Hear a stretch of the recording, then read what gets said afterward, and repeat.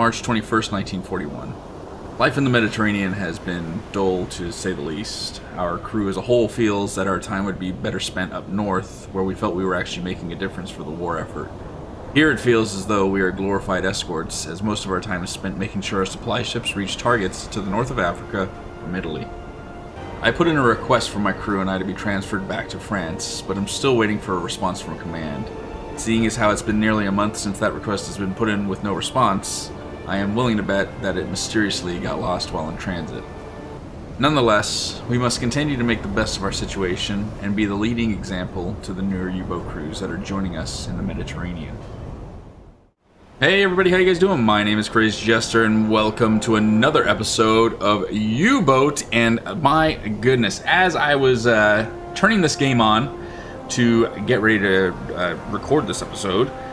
To my surprise, there was yet again another developer update for updates coming to U-Boat later this year or early next year. And I gotta say, they are exciting. So as we are playing this again, our goal today is to go towards the uh, Port of Gibraltar and see if we can't uh, knock out any key targets and or military-esque style ships instead of the cargo ships. We're going after military ships.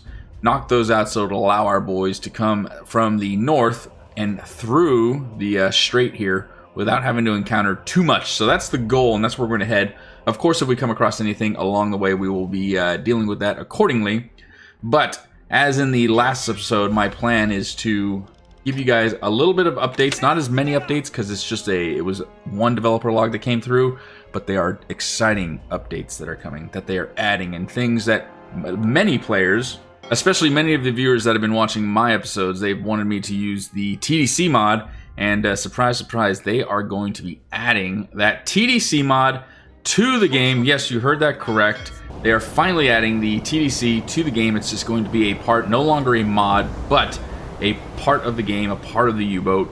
And so many people are excited for this, and to me as well, to be honest. Now, I understand there might be a few out there that are sitting there going, well, what the hell is TDC? I, I have never heard of this. And TDC, it stands for Torpedo Data Calculator, and essentially what it did, it was an electromechanical uh, device that the Germans used in U-boats, and it calculated a whole bunch for the uh, torpedo. I mean, the, the, the gyro, the torpedo, uh, so many things. Now, something to note is it is going to be completely optional to use. You, you can either choose to use it or you can choose not to, which is pretty awesome. The benefit of it being optional is the developers are saying that they can basically go absolute realism mode on this thing. All right, well, really quick, we are nearing the Port of Gibraltar. It's, going to be 0430 hours right now. Let's go ahead and drop down to periscope depth while we get closer, if we can and we will uh, get somebody on the listening room. So as we near, these are more than likely going to be military craft, definitely, in little groups of two to four. These will be destroyers that are just kind of putting around the port of Gibraltar. They are not going to be the big cargo ships that we want, but see, you can see how just dense it is with uh, military craft here. It's absolutely ridiculous. This might be one for us right here, though. Hello. This is a single ship. Cruising out to sea. This is going to be... This is definitely for us. Let's go ahead and try and get into a good view here. We're going to be running up on probably 0600 hours by the time we actually run into it, which is okay by me. That means the sun will be coming up and we'll have a better view because as it stands right now, it's pretty much pitch black outside, and we don't want that. And here we go. It was indeed a lone cargo ship coming through. Let's go ahead and start setting up if we can, please. Go a little faster, make sure our U-boat is straightened out, and let's go ahead and stop while we can right now and start plotting out everything that we need to be on a rough course like that, which means we are coming in at almost a 90 degree angle. We might be at like 89, which is fine, but we are 1.7 kilometers away. I would like to close that gap, preferably again, usually to about one kilometer. Let's go ahead and get into that position and start gathering the rest of the information we need to get a solid torpedo strike, shall we? So what else are they going to be adding in the new updates. The other thing that they're going to be adding is going to be uh, depth uncertainty. So, usually when you're traveling along, you can find the depth of certain areas. So, as you can see on the top right, uh, just under the menu bar, you can see those numbers that are moving along as I move the cursor, and that's our depth. So, where our cursor is right now, right over CG966, the depth is 1,095 meters. Obviously, as we get closer to shore, as you can see, it gets less and less. They're going to take that away. You're going to have to actually use the instruments inside the U-boat to actually determine depth, which is good. No more am I going to be able to sit here and say, well, I need to get out of the range of depth charges or drop down to a certain depth and I can just hold my cursor up over a certain area and say, okay, well, it's 800 meters deep right here. I'm going to drop down, you know, to 400 feet because I know I'm well within the range and I'll be fine. Now I'm going to have to go inside, use my instruments and say, well, how much distance do I have between the U-boat and the, the, the seabed? Ping it and then find out, okay, well, now you've got 800 meters below you. It's just going to make it that much more difficult for the captain and the realism aspect of things. But a good thing to know is that for those of you that like to dock the U-boat manually, they are going to keep the depths for ports because it was not uncommon for U-boat captains to get detailed maps regarding the depths around the ports and what what to look for. So they're going to keep that portion of it at least the information that the captain gets. You get to know the depths in and around friendly ports. All right, well, first things first, let's go ahead and identify this guy, shall we? And there we go. It looks like a Empire Explorer. Let's go ahead and recognize. Secondly, let's go ahead and get a velocity if we can. And already, my goodness, start. He seems like he is going terribly slow. Set seven knots. Boy, that sure didn't feel like seven knots. But I'll believe you course of about 91 degrees. There we go. And a distance, you know, we already kind of looked at it, so we'll say 1,000. What we can do, it actually is a little closer. Let's go ahead and get a proper distance here. No, we're looking at one kilometer. Perfect. Go ahead and start a torpedo if we can, please. We'll drop the depth low. 2.5 meters. Let's get it fast. And uh, compressed air levels 2 no. Oh my gosh, no way. Can we get the diesel compressors going, please? There we go. That changed a little bit. Now let's go ahead and get an updated distance if we can. We are looking at right about 850 meters. Let's hurry up and change that if we can, please. 850 and fire. Los!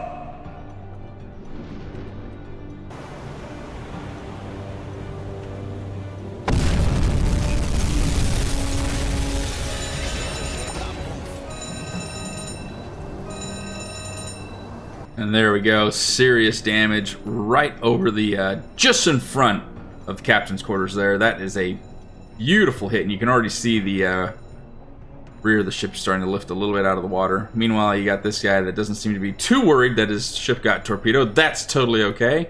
Just mosey about towards it and see what's going on. Incoming from the Violet. Ah, that's not going to be good, though.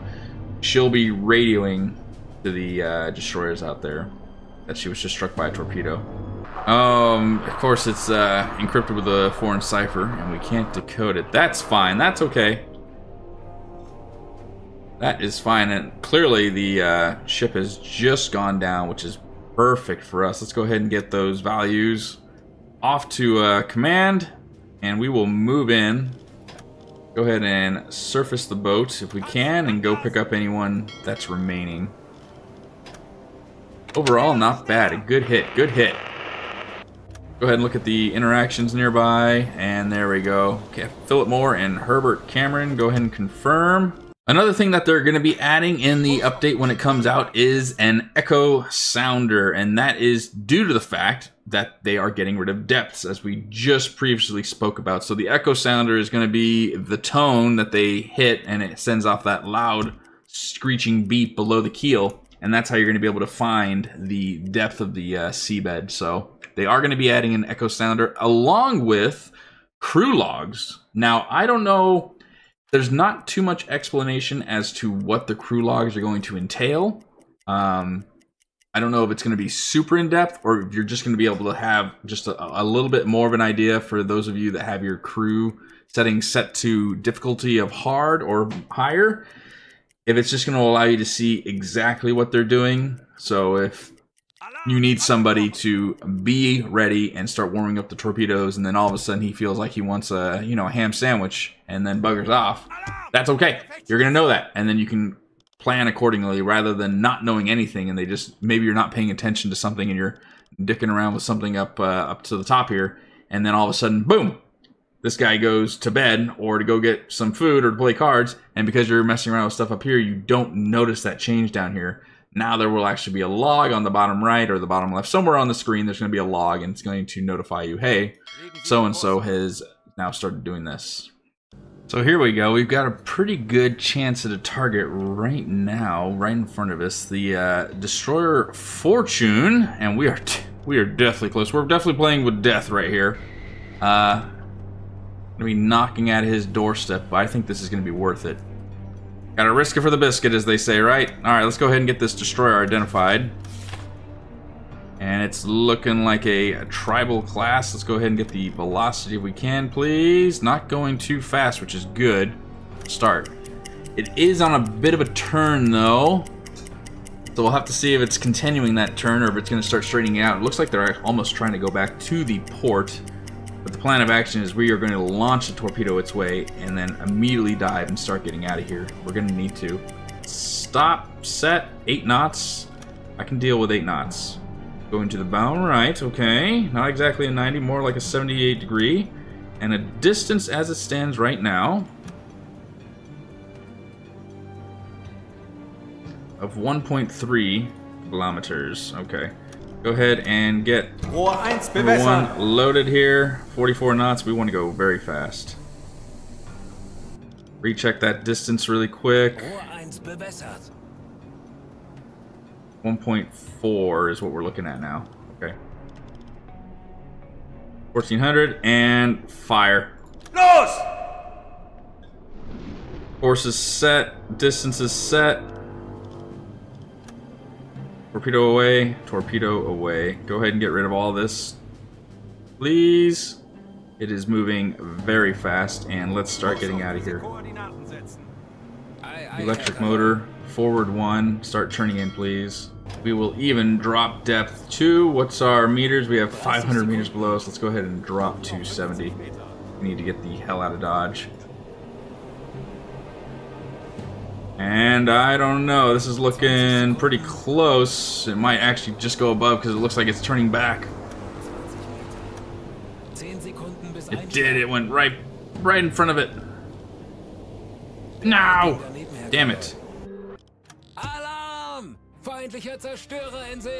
Oh shit, this isn't good. Go, as we were trying to leave the port, we needed air. Get on the deck gun. We have been spotted. It's going to be too hard to try and go dive under. We need to get on the deck gun immediately. Come on. Coming right for us. Start flanking them with shots here.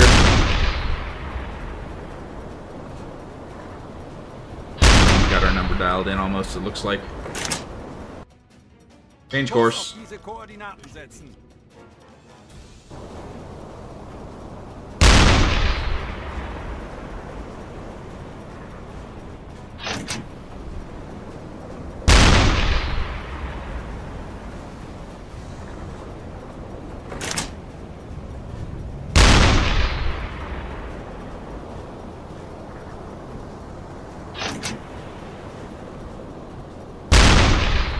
Got some good solid hits here. It looks like we're planking them.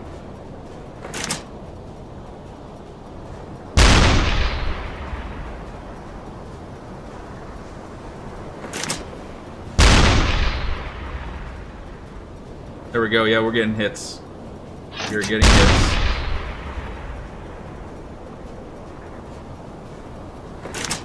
I haven't seen any more guns heading our way. Did we kill the gunner?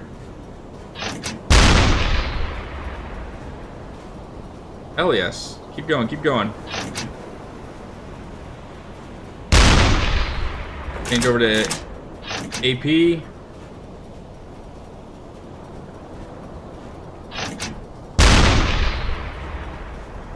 We might have knocked out that first gun. Which is a benefit for us. We want to go straight at it then. He's not shooting us anymore.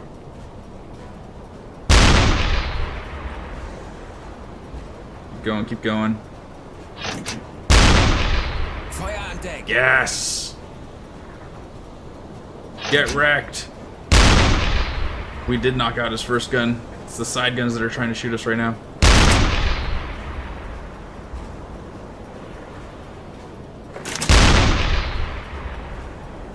Take him out.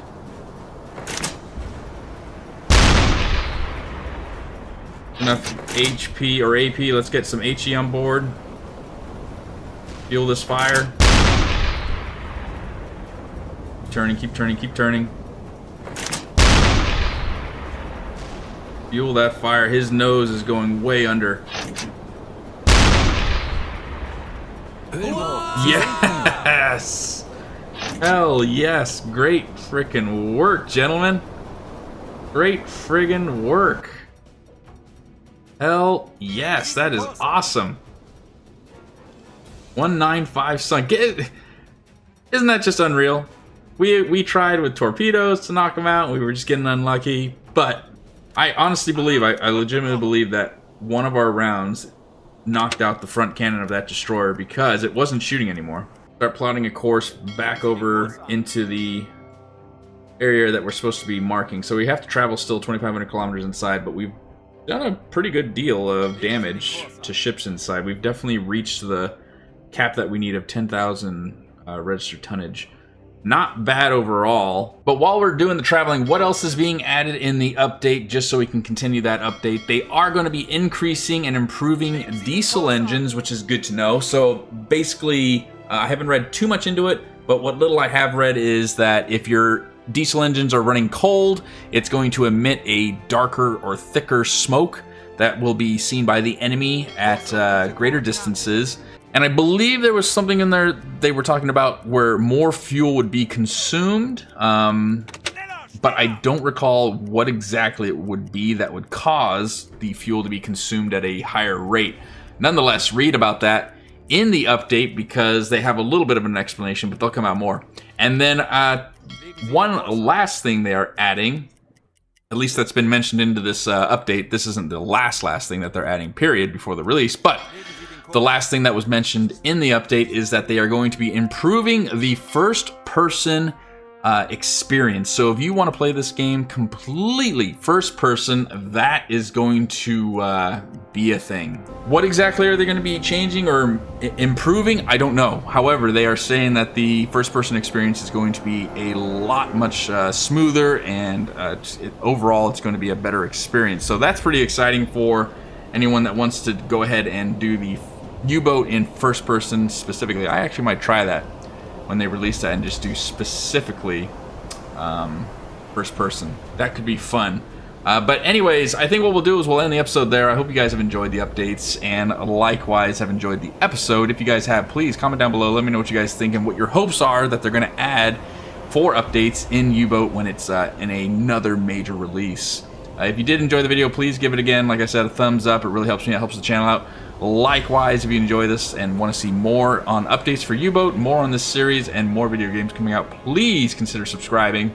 But I'm going to get back at it, read about these new updates, and uh, until the next video, I hope you guys all have an incredible day. Take it easy, okay?